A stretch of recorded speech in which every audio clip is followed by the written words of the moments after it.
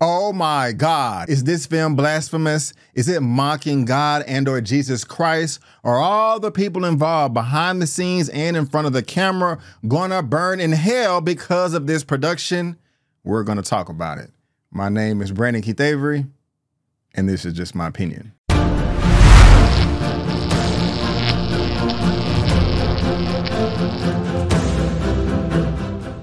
What's going on, everyone, and welcome back to another episode of Just My Opinion for my The Book of Clarence movie review. And if this is your first time finding me and you happen to like this video, please give me a thumbs up and consider subscribing. All right, man, we are now with the second film of 2024 that I've seen titled The Book of Clarence. The film is PG 13, coming in at two hours and 16 minutes, and I really cannot wait to talk about this one right here. Now, this is being directed by Mr. James Jamet. No, I'm just playing Jeymes Samuel. I got your name correct this time, sir. My bad about last time. Guys, if you have no idea what I'm talking about, go check out my review for The Harder They Fall, which Jeymes Samuel did direct, which debuted on Netflix a number of years ago. It was really embarrassing, but I'm laughing about it now. But this is the gentleman, Mr. Jeymes Samuel, right here, who is responsible for the Book of Clarence. He is the writer, producer, and director. And just like I said, he is also the director for The Harder They Fall. And I also work with Jay Z as a music director as well. Now, when it comes to my expectations for this film, they were right smack dab in the middle. I won't say that I was not looking forward to this film, which I was, but I wasn't excited about it either. I just did not know what to think. Before I even saw the trailer, I saw so much commentary online of people throwing this film down the drain, saying that it's ridiculous, it's garbage, it is blasphemous, it is mocking God and making fun of Him, and you just need to stay the hell away from this movie for all of those reasons. And so then when I saw the trailer, I had that in my mind. And I was like, wait a minute, is this mocking God? I am not entirely sure. Even within the first five minutes of me watching this movie, I was kind of looking at it like this like, what is this movie really about? What are they about to say? And I really couldn't put my finger on it. So I really did not know what to expect, but at the very least, I was intrigued because it had a great cast.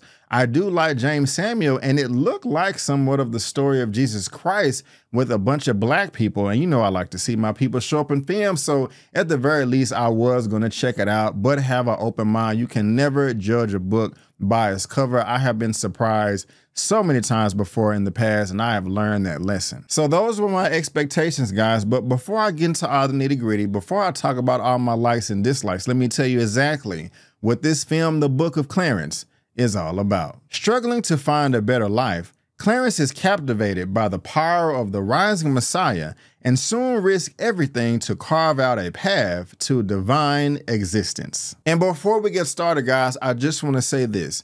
If you don't like a movie, that's perfectly fine. All things are subjective. However, if you have not seen this movie, if you have not seen this film, and especially don't plan on seeing it, don't put anything negative in the comments. I'm, I'm just not going to allow it. A lot of people did that with my The Color Purple review, and it was very annoying. If you see the film and you don't like it, feel free. Okay, you can put whatever you want in the comment section. But if you haven't seen it, I don't want to hear anything negative. I will be removing all of those comments. Now, the first thing that I want to talk about is the elephant in the room. Is this film disrespectful to Christ, to Jesus, to God? Is this film blasphemous? I can say this with all the confidence in the world. Absolutely not. This film is not blasphemous at all. It is not disrespectful to God. It is not disrespectful to Jesus Christ in the slightest. At the very least, it is uplifting Jesus. It is uplifting God and gives you an interesting perspective that you've never seen before. And that is what makes it so great. And to be more specific, when I say that this film is not blasphemous or it does not mock God and or Jesus Christ, that's the film itself. But there may be a character or two that does mock God in this film. However, if that does make you pump your brakes, I love the creative way and vision that the director had in this film to address that accordingly. And I really did enjoy the journey that this character went on from the very beginning to the end of this film. It is very enlightening and will pop off a lot of conversations when people are walking out this film, giving their opinions and how they felt about it. In a nutshell, this film is not necessarily about Jesus Christ per se, but if it is about Jesus Christ, it's about Jesus Christ through the eyes, through the lens of Clarence, played by Lakeith Stanfield. Now, Lakeith Stanfield has been in the game for quite some time now. He does have a number of credits under his belt. I do remember seeing him a while ago. He was in Atlanta, one of my favorite shows that's not here anymore, but he really had a standout role for me in Get Out that came out, I believe, in 2017. But like I said, the man has over 47 credits. You can check it out right here, his filmography on IMDb. I want to talk him first because this actually may be my favorite performance of Lakeith Stanfield of all time. Again, he hasn't been doing this for 40 years. He has been doing it long enough and does have a lot under his belt. But I really did enjoy absolutely everything that this brother was dishing out on screen, and it was incredible. I loved it. He was fantastic in this movie. Everybody was in front of the camera and behind. But man, he really did have a standout role in this, and I just got to give him a round of applause right here. I loved everything about his role. But what I like about his character, Clarence, is even though I do not agree with the hill that he is dying on for the duration of this movie, or at least the beginning, I can understand where he is coming from. It's just not me. We're all cut from different cloths and are products of our environment. And when I see where he is coming from in this film, like I said, I can see his stance on things. And it's just a great reflection on life because I have been where he was at certain points in my life than he was in this movie. And I've also ran into people that are like Clarence in my personal life, friends and family as well too. I love his foundation. He's very unapologetic. He is confident and has a high level of self esteem, but still realizes that he hasn't reached his full potential and is eating up at him and stopping him from breaking through that ceiling. And I can always respect a man or any human being that is satisfied where they are in life but at the same time, they know that that's not enough and they still are striving to go even farther. And that is where Clarence is in this film. His journey in this film is a true adventure. I loved everything about it. There are times where the acting is just so superb and it's like some of the best you've ever seen. And it gets really passionate and dramatic. But then there's other moments where they flip it on you and it's very lighthearted and comedic to where you're going to be busting out laughing, rolling around in your seat. And that's just not with this character, it's with the whole movie and everyone involved. Not only did Lakeith Stanfield do a great job in this film as Clarence, but all of the supporting cast did too. Not anyone had a weak role in this film. Everybody had a standout. Omar Sy was fire in this movie. He was actually super duper fire. One of my other favorites in this movie. RJ Cyler, James McAvoy, and even Teyana Taylor. And I didn't even really know that she could act like that.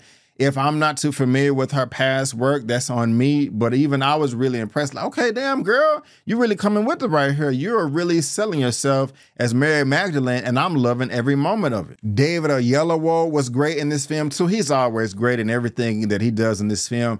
But I love the way how he was serious in this film and also could flip it on you and start making you laugh just like that. I saw bits from his character that I've never seen before, and it was a breath of fresh air, even though I was not suffocating at all watching this movie. But guys, seriously, this is not hyperbole. This is no exaggeration. Everybody had a fire performance in this film. Real talk, whether they was being serious or funny, I've said that like three or four times now everybody was well rounded in this film, and that just made it that much more entertaining. But going back to Clarence, even though you may not agree with some of his antics in this movie, the man said it with his chest, okay? He would put his foot down. I love the relationship that he had with his mother. It reminded me of my relationship that I have with my mother, and that just makes your respect level for him go even further. But then the way that his brother would check him sometimes in this film, you would think that he's a douchebag, but no, he still is going to stand there 10 toes down and reply with something very thoughtful and innovating. It kind of forces you to look at everything from all sides and all angles like you should always do.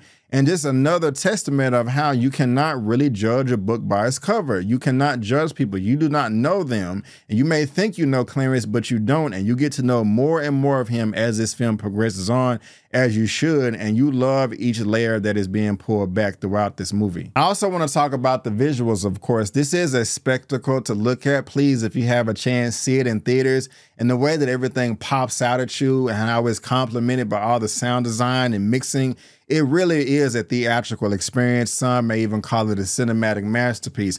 I really do love that. And also just the creative decisions that Jeymes Samuel would use when he was directing this film to focus in on certain points of this film to make it stand out even more whether it was just something crazy in the background or something in the foreground of how he would zoom in but black out the remainder of the screen. I don't think I've ever seen that before either, but he really did put his signature style all over this, and it's going to stand the test of time. Now, sometimes in this film, the set designs, the production feels like the biggest production ever in Hollywood, but there's also times where it's scaled down and it feels like a stage play with an unlimited budget with all the fine fixings and glitter surrounding it. I mean, the way that switches back and forth, I absolutely love that as well. And there are a number of points in this film that pull from the Bible stories that we're familiar with and also images I'm thinking right now about the Last Supper. And when it's developing on screen, you can do nothing but smile, just saying, Oh my gosh, I know what you're doing right there. It hasn't fully developed yet,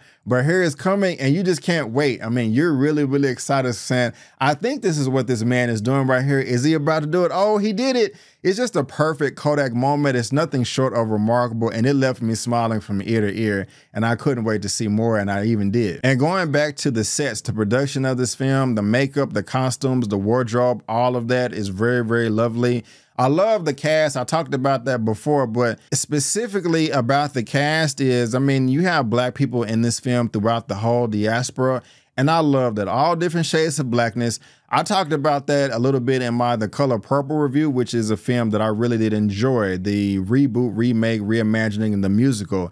But it's even a bigger standout in this film as well. I mean, we are described in the Bible speaking about black people all throughout, but we've never had this type of visual representation of us it's beautiful. It may make a tear fall down. I mean, this is just the perfect interpretation of this story with people that look like us. And I mean, this is just something that we deserve and that we should have gotten a long time ago. And so when you throw that in with everything else, like the set design, wardrobe, costumes, makeup, all that that I just talked about, man, it, it, makes you feel good. I mean, you are proud. You feel like, yeah, you know what I'm saying? I see myself in this film right here, Biblical Times. I was checking out a interview with Jeymes Samuel and Lakeith Stanfield promoting this film, and they used the term biblical chocolate. I think that is a, one of the perfect ways to describe this movie as biblical chocolate. I mean, there, there's no way, but there's no better way that you can describe it. And I believe I said before, this is also just a great reflection on life. And I believe in the Bible, in the book of Ecclesiastes, I can't remember if it's chapter three or chapter four,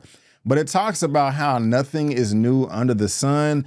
And man, that really is on the forefront when you're watching this film. Like, oh my gosh, a couple of thousand years ago, the stuff that they did back then, they are still doing today. And it's a darn shame. And the way that Jeymes addressed that as well was great. Now, there is always infighting in every group, whether you're red, white, yellow, black, or brown. And there is some infighting between black people in this film. But the black people in this movie are on code because when the white supremacists, aka the Romans, step up, the way they put all of those differences aside and be like, okay, I do have my quarrels with this person over here, but I'm not just gonna let you come bombarding in with this whole I'm white and I say so ruling and just do whatever the hell you wanna do. I'm gonna put my feet down, I'm gonna say it with my chest. And man, that was possibly one of my favorite scenes of this movie when they're talking about all of the inadequacies uh, white supremacy and people that believe in that garbage right there. It really does. I wanted to stand up and cheer, to be honest with you. And again, these are serious scenes in this film, but guys, this is also a comedy. You're going to laugh your butt off in this film. There was one joke that dropped kind of towards the beginning. Everybody bust out laughing during this one scene. And I mean everybody, the white people, the black people, everybody. And then talking about race, who is this movie for? I mean, it's for everybody, whether you're red, white, yellow, black, or brown. But man, especially if you're black, if you are a black person and you miss out on this movie, whether you are a believer or a non believer, you are missing out on the treat. I mean, I'm serious. I can say right now that it, we're only in January, okay, that this most likely will be in my top 10 best films of 2024. I didn't do a best of 2023 because I felt like I missed a number of films, but I'm gonna really try to do that for 2024. And if this, the Book of Clarence, is not on on it, I'm not gonna put it in my list, but I have a lot of confidence that it's going to be on that list by the end of this year. And the way that he moves the camera is dope as hell. This guy right here has his own unique style, and it really does stand out. Now, there are a couple of scenes that start off kind of weird, but if you just kind of let it sit there and soak, let it simmer a little bit and heat up, you're like, okay, I don't know where you was going with this at first, but okay, I like what I'm seeing right now. I like this. This is quite nice. Keep it up. Let's let's keep that going. Let's not lose that energy. Did I mention that there is action too? Yes, it is. Now, this is not no 300 or anything like that, but there is bits of action in this film, and I really do like it. I also saw an interview where Jeymes said that one of his favorite films is Ben Hur, and I could be wrong. It got some representation of that in this film too. So you got just bits of everything. If you want to, there, there, there's no tone for this movie. I mean, it's everywhere, but that's a good thing. That's a positive. I mean, if you, if you, no one can complain saying that Hollywood don't come out with original movies anymore because you got one right here.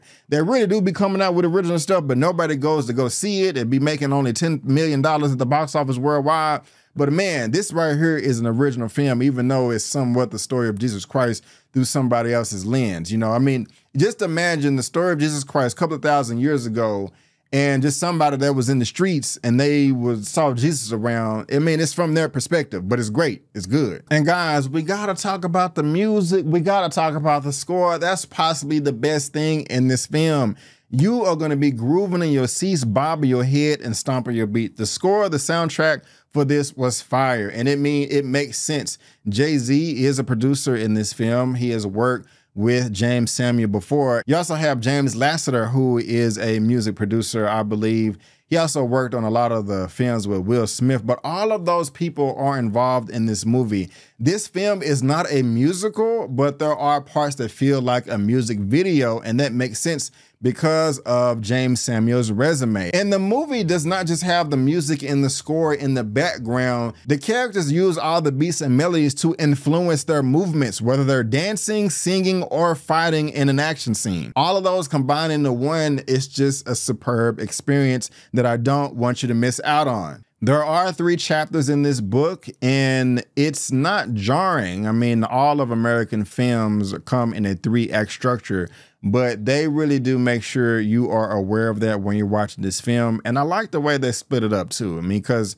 it's a different movie in each book, but it all comes together in the end beautifully. But really, what's great in this film is I don't want to say that there's a message, and I don't want to say it's preachy but this film does have a creative way of telling the story of Jesus Christ from a believer standpoint of view and a non-believer's. Whether if you are agnostic, whether if you are an atheist, whether if you are a holy roller, whether you go to church or don't, or haven't read your Bible in 16 years, it gives a great perspective from all of those angles. And anyone can take something out of this movie and I really do think that you should see it. I loved it. This film was fantastic. I cannot wait to see it again, whether it's by myself, a group of friends, or whatever. There is so much to love in this film. Now, those are the things that I really did enjoy about this film. Now, let me just kind of transition to some things that did not just completely knock it out of the park. When it comes to the ending, Usually I would say something like, okay, they could have chopped 5, 10, or 15 minutes off. I kind of wish it would have been extended a maybe another 60 seconds or a minute or two. There was at one point I was like, oh my gosh, I'm gonna be angry if the film ends right here. And it didn't. It kept going, but it could have they could have stretched it out just a little bit more. Also, towards the beginning of the film, I was a little bit confused with the timeline of events. It was something that didn't make sense to me and it was distracting. I was kind of saying to myself, wait a minute, how can this character have said this line of dialogue right here when this person over here is still alive? They're not dead. I don't want to go any further and like spoil it for you, but that it, that kind of distracted me for a good 20 minutes and that kind of rubbed me the wrong way, but that's not a big deal. I also really don't understand Benedict Cumberbatch's role in this film. I, I just I got to see it again. I saw this at an Alamo Drafthouse not not to crap on Alamo Drafthouse. I mean, y'all do your thing over there, but I do not like going to movie theaters where the waiter waitresses comes in and hey take your order and giving people re- it, it's distracting me. And that happened a lot when i was watching some movie and i'm just, uh, i get easily distracted. And so that's probably what it was. I mean there was also just another point where it was a group of people and i kind of felt like they could have left this situation a long time ago but those are really nitpicks, okay? Those are nitpicks. It's not that big a deal. I would just kind of say to myself, wait a minute, you know, yeah, they didn't really add up all the way. 97, 98 out of 100 with those few aspects right there. But overall, they're just small nitpicks I love the film overall. And if you get a chance, please see this movie because I don't want you to miss out. And I will go ahead and give my rating at the end. But for now, that is just my opinion. And I want to thank you so much for tuning in. If you did like this video, please go ahead and give me a thumbs up and subscribe to the channel. Leave a comment what you thought about the film or if you planned on seeing it and what was your interpretation of the trailer the first time you saw it. If I had to rate this film out of a 1 out of 10, Woo, man, man, man, man. I'm gonna give it a nine out of ten. I'm and when I see it again, I, I, don't know. I may bump it up to a nine point five, but I'm gonna give it a solid nine out of ten. This film was superb, and I can't wait to see it again. But guys, again, I want to thank you so much for tuning in. And before you go, don't forget that my name is Brandon Keith Avery, and that's just my opinion. Peace.